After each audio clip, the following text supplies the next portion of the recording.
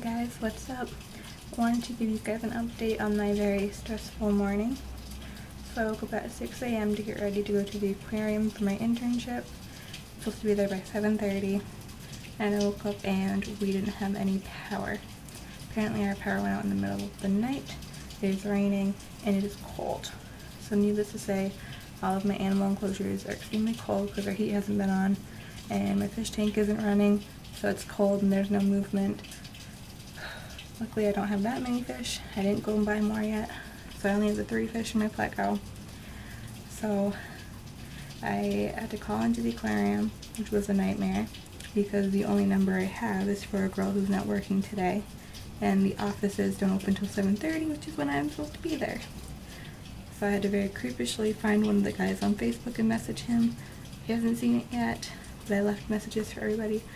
So here's hoping they know I'm not coming in. So it's currently almost 7 o'clock. And luckily I had things on hand for something like this. Not intentionally, I have some rubber like hot water jugs that I use for Arcadius when he would go to the vet. I put it in his travel bin just to keep some heat. So, and then luckily I have two coolers. So I'll kind of show you what I've done so far to keep everybody warm. So I don't know how well you can see it's still really dark, but I've got Phoenix's cooler that she travels in, and then my new food cooler. So I have two hot water jugs, so I have one in each, wrapped in a bunch of blankets, so it's only kind of warm, not hot. Phoenix is in her pillowcase, and I just put Apollo back in his little cup that he came in because he's so tiny, I don't want to put him in a pillowcase. I need to get like pencil pouch or something. So my two snakes are in there. I'm going to put them in the closet because the closet's always the warmest part of my room. And then I'm going to wake up Arcadius and put him in my sweatshirt and bring him back to bed with me. Um, I haven't taken him out yet because I was dealing with the snakes.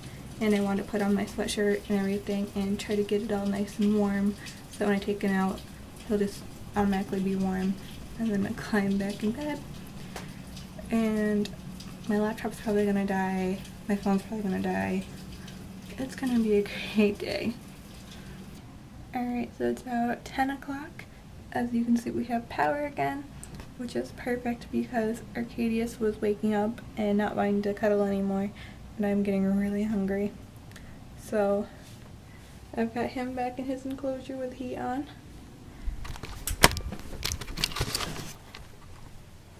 I'm just waiting on the snake enclosures to warm up. But while they do that, I'm doing some cleaning, refilling water dishes, and just doing the tasks that need to be done while they warm up. Alright, so now that we have power and everyone's back in their enclosures nice and warm, I figured I would show you guys how I kept them warm during a power outage. So you guys know I put Arcadius in my sweatshirt and kept him warm that way. Um, I use these two coolers for the snakes. So this is just a styrofoam cooler from 7-Eleven. You guys have seen this before. This is what I use for Phoenix when I'm traveling with her. I put her in her pillowcase and then I put her in here. If you're ever transporting an animal, I highly recommend a styrofoam cooler. They hold heat very, very well. I also have this cooler down here that I bought myself for my birthday because I thought it was pretty and I wanted it for the beach.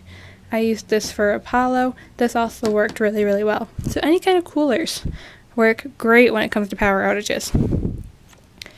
So for heat, I didn't have any hand warmers on hand. I've also heard those aren't the best. What I use are these rubber water jug things. So I have two of them. I used to use them last summer or two summers ago when I got Arcadius.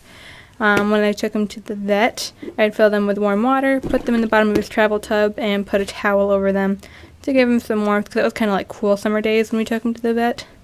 So luckily I had two of these on hand, so I filled them with hot water, put one in each cooler, and then I just used some towels to cover them and layer them to make sure it was just going to be warm for the snakes and not like super super hot because I did put hot water in because I wanted it to last a while.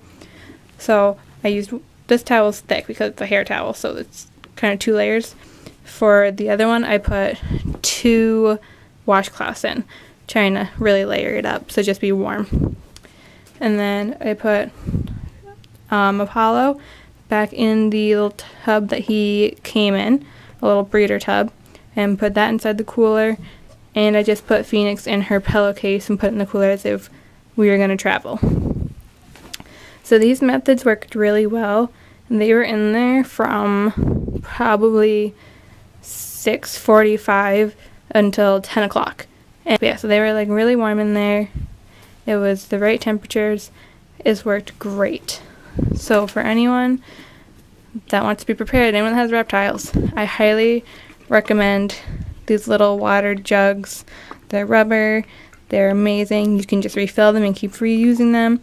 Just make sure when you're done, you take that little piece out, empty them, and let them dry so that you don't get anything gross growing inside of them. But these are fantastic for things like this, or even just traveling with your reptiles. These are great. So I highly, highly recommend these.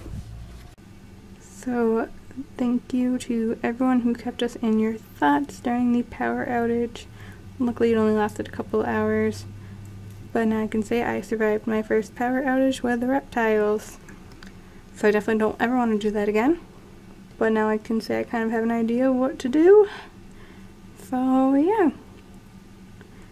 Thanks guys for watching. And we'll see you next time.